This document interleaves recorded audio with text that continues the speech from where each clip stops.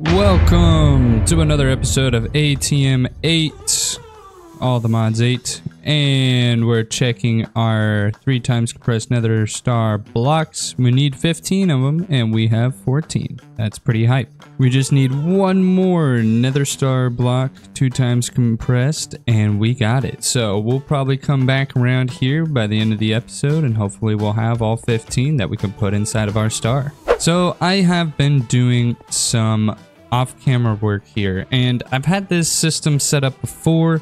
Not all of it. There's some new things that I've added but I have some crafters back here and that way when I'm doing Mekanism stuff I can just hop in here and say I need a reinforced alloy. I can just hit that. You're like hey I need 10 of these and then hit start. I don't need them right now so I'm not gonna do it right now but yeah, so I've set up a lot of auto crafting over here. The one with the redstone in here uh, to make like infused alloys and whatnot. The refined obsidian dust is used to make the atomic alloy. And the diamonds or enriched diamonds is used to make the reinforced alloy. And the refined obsidian dust that'll go into the one that requires the atomic alloy. So we got that going and we also have one more auto crafting with the block of coal and we use that for enriched iron for, because you'll need enriched iron for other things that you need to craft. In today's episode, we are going to be diving into making a fission reactor and that is this guy right here. And to get started, we need 53 fission reactor casings and 41 reactor glass.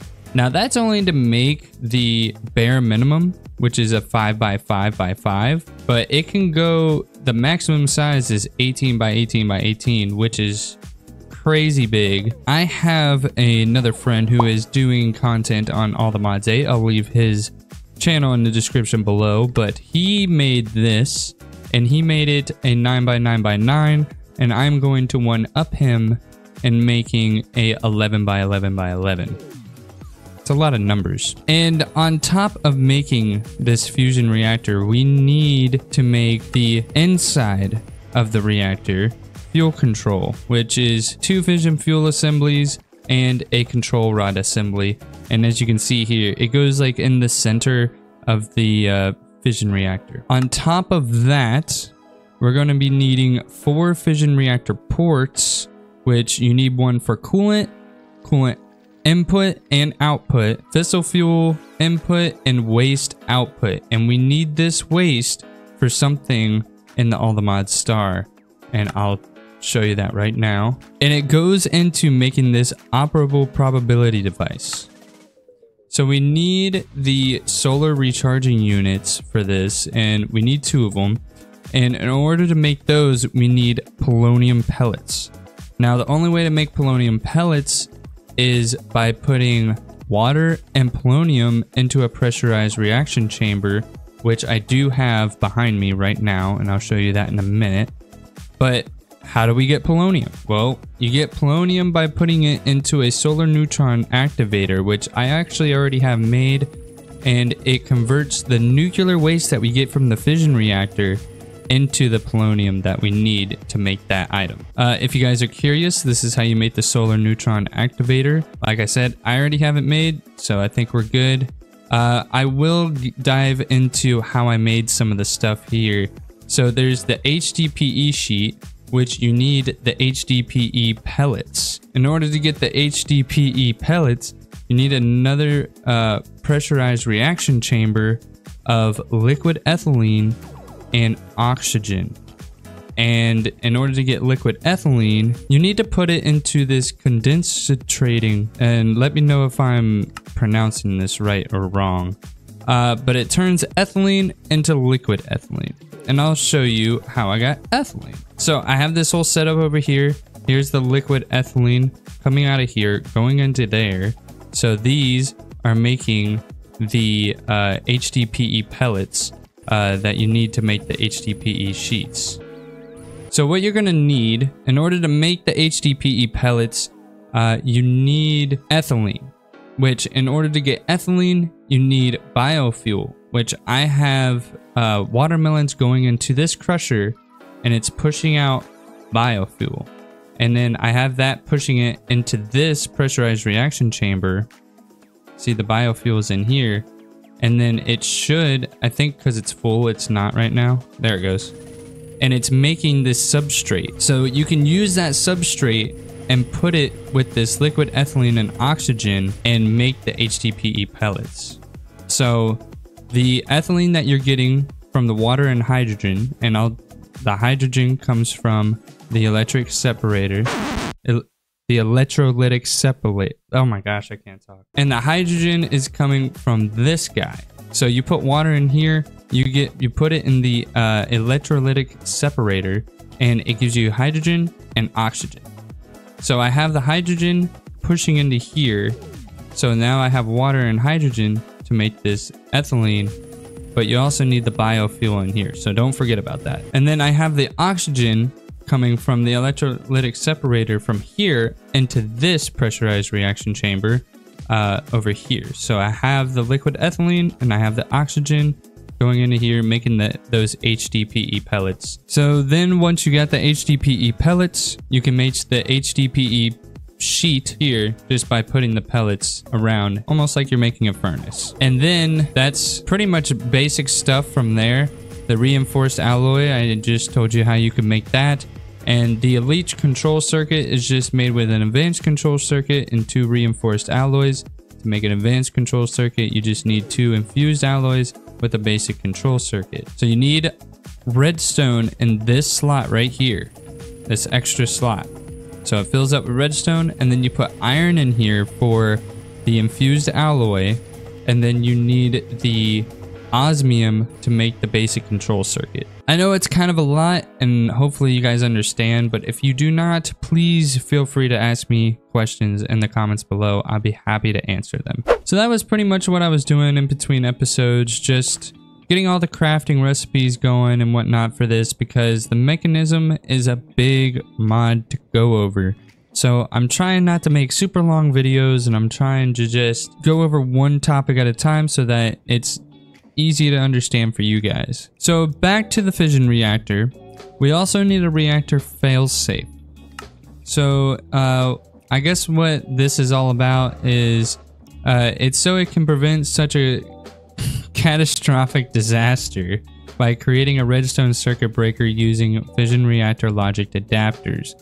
Uh, now these aren't 100% guaranteed to stop an explosion, but they are absolutely nice to have. So I guess I'm not that worried about it. My buddy KryptoCal did the same thing here and he went ahead and did it just for just to be safe, but we're gonna go ahead and we're gonna make two of these fission reactor logic adapters so that we can have our failsafe. So now we have everything we need for our failsafe and also I went ahead and already made all of the fission fuel assemblies the control rod assemblies. Um, oh, I already had two logic adapters. Oh well. Uh, and then I already have the fission reactor ports and I also have all the fission reactor casings that I need as well. Now the last thing that remains is the the reactor glass, which I also made a bunch of. Now, I don't think we're going to be using all of this, but it's safer to have more than less so that we don't have to keep making trips back and forth. Because of the place that I am actually doing lag spike, the place that I'm actually doing this in is Everbright. You want it to be daytime because you have this solar neutron activator here and it's solar for a reason, guys. so like I said, we're to go ahead, get into building this thing. Uh, we need all of these and we need the, so we need the fusion reactor casings and we need the reactor glass. So I'm to go ahead and just make an 11 by 11 by 11. It is really bright in here. So there it is, the outer frame is done. Now we're gonna fill in the rest with the reactor glass. And you know what? We're gonna do this. Just like that. Oh, wow. That makes it so much easier. And there it is in all of its glory. Uh, the connecting textures isn't uh, doing a good job of that, but um, we can fix that real quick. Hold on. And boom, it's fixed. It's nice and clear now. It looks amazing. Okay, so our next move is is probably to do the interior. So the reason I made so many of these fission uh, fuel assemblies is because you can actually put multiples of these in here uh, along with the control rod assemblies as well. So I made a whole bunch of them just so that uh, it could work at full capacity. Now, the one that they display only has one inside of it, but you could put one in the corner there, and another one, and another one, and another one. As long as they're not touching, that's all that matters. So we're gonna look for the dead center, place our fission fuel assemblies going all the way up to the top except for one block because the block that goes on top is the control rod assembly. Look at that, it connects beautifully. So we're gonna do that all on the inside so that it can work at full capacity. All right, so once you finally put it in that little checker pattern there and it's all good, we're gonna move on to the next thing, which is we're gonna be putting in our fission reactor ports, just like so. And then we're also gonna go ahead and take care of our failsafe. And we're gonna put it on the side here. So now it is fully interactable, so we can right click on this guy and it'll tell us what we need to input and output into our fission reactor here. So we're gonna need coolant, meaning we're gonna need water. And we can do that simply with just a sink. This thing will give you infinite water. Infinite. And the water is filling up. We might put a pipe upgrade in this so that it'll go a little faster. Just a little, little bit of that. And it is definitely going faster. That's gonna hold a lot. Oh man. It's because it's an 11 by 11 by 11. It's a big boy. All right, so the next thing. So in order for the fission reactor to run, we need fissile fuel. And in order to make fissile fuel, we need to follow these steps here going along until we make this uranium hexafluoride. And we need the sulfuric acid, which the first thing we'll need is sulfur dust. Now, to get sulfur dust, I believe the way I'm going to do it is using another pressurized reaction chamber, putting in water and oxygen into this guy with a block of coal and it'll make some sulfur dust and hydrogen on the side. So I'm gonna set my electrolytic separator here to output two cyan to the top, which the two is on the right side, oxygen. So I'm gonna put this on top. Oh no, that wasn't supposed to happen. So make sure when you do do this, you do the side config here and you do gases, set output 2. Uh, you don't want the item config to be set to output 2. You want the gases. For some reason, I didn't do that. So I put my coal in and I have my water. Uh, I put a pipe in the back of it and now it's uh, it's making the sulfur. Might need to put some speed upgrades on this. It's taking a hot minute, but we get nine right off the bat. So that's a plus. All right, so the next thing on the list is to get a chemical oxidizer. I'm gonna be feeding the sulfur dust that I get from here into this like so, and it gets sulfur dioxide. So since this is also making hydrogen, I also put the pressurized tubes and I fed it back into the pipe where it is feeding this oxygen. Then there's two sources of oxygen being fed. Uh, hydrogen, not oxygen. Two sources of hydrogen being fed into this guy here. Now the next thing on the to-do list is to get a chemical infuser. Pretty simple to make. Make this guy. And I'm gonna put this right next to, I'm shrunk, right next to this guy here, like that. Um, and see the sulfur dioxide is going in. Now we need to combine this with oxygen to get sulfur trioxide. So what I'm gonna do is instead of trying to feed the oxygen from this guy is I'm gonna make a second electrolytic separator, put it on top, and hopefully it'll feed through the top. If not, I'll have to put it on one of the sides. There we go. So we got our oxygen going in, making our sulfur trioxide. There is a quite a bit going on here, isn't there?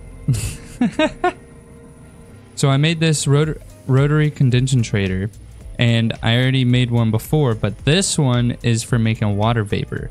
So you want to hit toggle operation, make sure you're feeding water into it and it'll make water vapor. And the reason I'm doing this is because you need to combine it with sulfur trioxide and you will get your sulfuric acid. So I made this basic chemical tank uh, feeding the water vapor into it so that I can bring it over here and um, combine it with the sulfur trioxide and make that sulfuric acid so I can get closer to that fissile fuel. And this isn't going to be a permanent fix. Uh, eventually, I'm going to change it up so that it'll be easier. It'll just be constantly feeding in there and or uh, feeding into something else so that it'll make that sulfuric acid.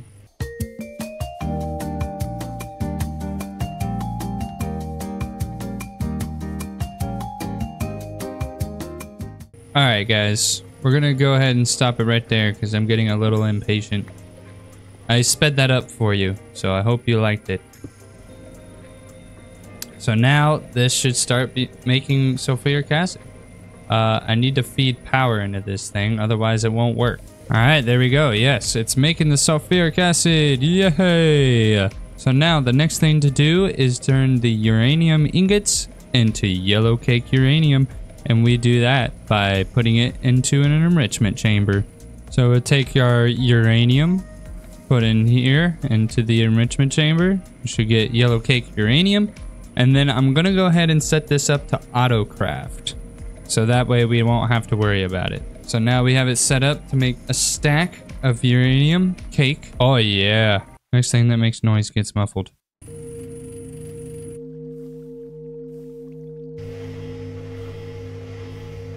Alright. At least the noise has been reduced. I was I was getting a little tired of all the noise. Alright, so we're gonna use the chemical oxidizer to put the yellow cake uranium inside to make uranium oxide. And we're gonna take this uranium oxide and put it into a tank. So what I'm gonna do is I'm gonna make a bunch more and we're gonna output it to the top. All right, so now I have it auto putting it in here, auto ejecting it into here. So this will fill up and then go immediately into the chemical tank. All right, so the next thing we're gonna be making is the chemical dissolution chamber. All right, and then we're gonna go ahead and set this guy to take the gas and output to the top. So we have the sulfuric acid. And then on top of that, we need fluorite. So we take our fluorite, which you can get from mining, pop it in there, and we'll get our hydrofluoric acid. We're gonna make a tank for that as well. Plop that in there. Uh, this needs power, and now it's making hydrofluoric acid. Now we're at that, we're gonna need another chemical infuser, and we're gonna go ahead and put that in the crafting recipe, just for easy access. And we should be able to craft it. And there it is. And then we're going to want to take our uranium oxide and feed it to the other side of this chemical infuser and we will get something magnificent. I tell you, magnificent. All right, so we're gonna output the front. Auto eject is on. We want to make sure that we're doing this for gases, I guess, or maybe infused types. Oh, didn't mean to do that. And there it is, our uranium hexafluoride. Get another tank for this. Now, just to start off, I'm just doing this. I'm going to show you guys maybe in the next episode how I'm plan on uh, changing this up for the long haul. Uh, I want this to be uh, fully automated and I don't want to have to ever want to come back here and mess with anything ever again. So just for the time being, it's it's just a temporary setup for now. In the next episode, I'll have it all changed up and uh, fully operational, um, automated, and we won't have to come back here and deal with any of this. So now we're gonna make our isotop isotopic centrifuge so that we can get our fissile fuel. And we're getting our fissile fuel. We have our uranium hexafluoride going into our isotopic centrifuge. And I hope you guys could follow along because this is a lot. This is a lot. I added so much here. But like I said, I'm going to reorganize this in between episodes and uh, that way it could all produce a lot smoother and more automatic. All right, guys. So I gathered up the little bit of fissile fuel that I have and clearly it is not enough. I made a big old tank, so I'm going to have to make a lot of fissile fuel. So I am actually not going to do it in between episodes and I'm going to go organize that stuff right now and I'll get back to you guys once I'm done. Alright guys, so I went ahead and activated it, set up everything that I needed to set up and I'll explain to you how I did that. So here's the new setup. I set it up over here next to this thing, which is really loud. Like it's it's kind of loud. Um, I don't know if there's a way to muffle this. Uh, please let me know in the comments if you can, but I, I'm actually not too sure, but it's loud. So yeah, here's the setup. I explained how all this works, but I'll show you the layout that I did to make it all connect properly and it's not completely using Mekanism because I'm also integrating my refined storage into this as well. Um, so I have a sink down here feeding water into the electrolytic separator here and then feeding the oxygen from the electrolytic separator into this guy also feeding water into this pressurized reaction chamber putting in the coal making the sulfur dust in turn making the sulfur dioxide and turn and putting the sulfur dust in here to make that. And right here, I have the oxygen from the electrolytic separator going up as well into this guy. And then we have the sulfur dioxide, the sulfur dioxide coming from over here into this guy, making the sulfur trioxide, and then pushing the sulfur trioxide into this chemical infuser uh, making the sulfuric acid. And then we also have the water vapor coming from this guy, uh, feeding water from the sink into this guy to make the water vapor. And that gets us the sulfuric acid. And then we're putting the sulfuric acid in here with some fluorite to make this hydrofluoric acid and then converting that over here with the hydrofluoric acid and the uranium oxide to get the uranium hexafluoride. And I just have constant yellow cake uranium going into this chemical oxidizer here um, making that uranium oxide. And in turn feeding it into here feeding that uranium hexafluoride into this isotopic centrifuge making us some fissile fuel.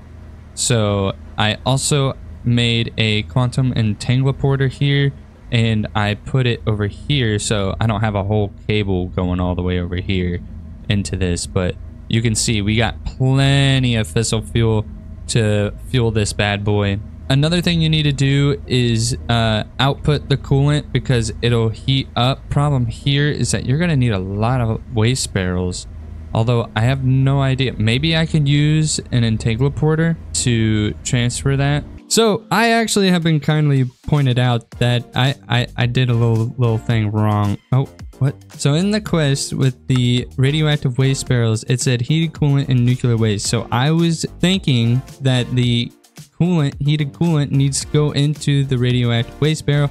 And I was wrong. Go over here and it says here an industrial turbine is massive multi-block structure used to convert heated coolant into power. So we're going to do that in the next episode. So just keep that in mind. I I I, I gave you guys bad information. so make sure you have this set to output waste. Uh, so then you want to put the pressurized tubes going into the solar uh, neutron activator here and uh, it'll turn the nuclear waste into polonium and then uh, you put water into this pressurized reaction chamber and then polonium from the solar neutron activator and uh, you put some fluorite dust in there. And you do that by taking fluorite, put it in a crusher, you have fluorite dust. And I have that inputting into here, getting us polonium pellets. Then we'll be able to make this guy. Um, and I believe we need two of them. Yeah, we need two of them to make this improbable probability device. All right, we're gonna take three of these polonium pellets. We can take this and auto craft it. I put it in my crafter. Solar panels. We need solar panels. Put that in the crafter like that. Now I should be able to pull it off. All right, it's done and we got it. All right, guys. I'm going to have to end the episode here. Thank you so much for watching and hopefully you learned something. And if you did and you do like the content that I am making, be sure to check out my previous episode. It is on the left hand side and on the right hand side. You can be free by subscribing to me. Yes. Thank you so much. I'll catch you in the next one. Ooh, our nether star blocks are done.